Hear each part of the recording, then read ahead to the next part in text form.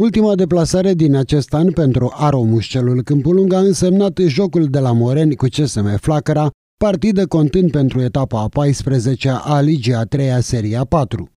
Înainte de această întâlnire, echipa din Câmpulung ocupa locul 8 al clasamentului și venea după o serie de trei rezultate fără înfrângere, o victorie contra celor de la CSO Tricolorul Breaza și două partide terminate la egalitate contra celor de la SC Popeștile Ordeni și CS Păulești.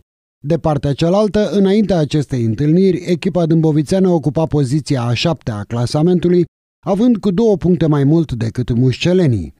Partida a fost una echilibrată, cu ocazii la ambele porți. Aro a ratat deschiderea scorului prin Denis Pia, șutul acestuia fiind respins cu greu de sub bara transversală de portarul dâmbovițean Denis Duță.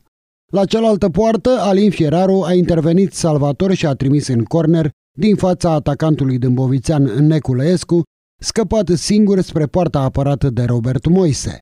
La faza imediat următoare, Moise este salvat de bara transversală. În minutul 37, gazdele deschid scorul dintr-un penalti transformat de capitanul morenarilor Dragoș Cernea.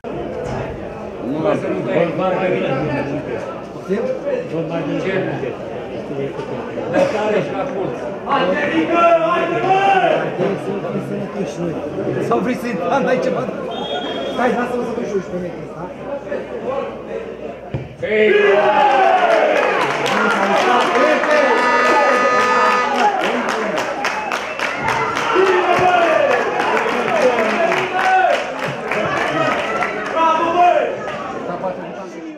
După pauză, Darius Șerban a scăpat singur spre poarta adversă, însă mingea trimisă de acesta a ocolit stâlpul porții adverse.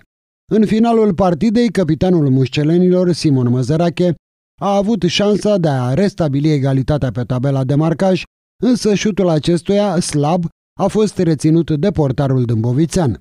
S-a terminat cu victoria echipei din Moreni la limită, iar Aro Mușcelul Câmpulung rămâne în zona tulbure a clasamentului. În ultima etapă din acest an, pe terenul sintetic de la baza sportivă Sola Grația Dragoslavele, Arov va primi vizita liderului seriei CS Dinamo București.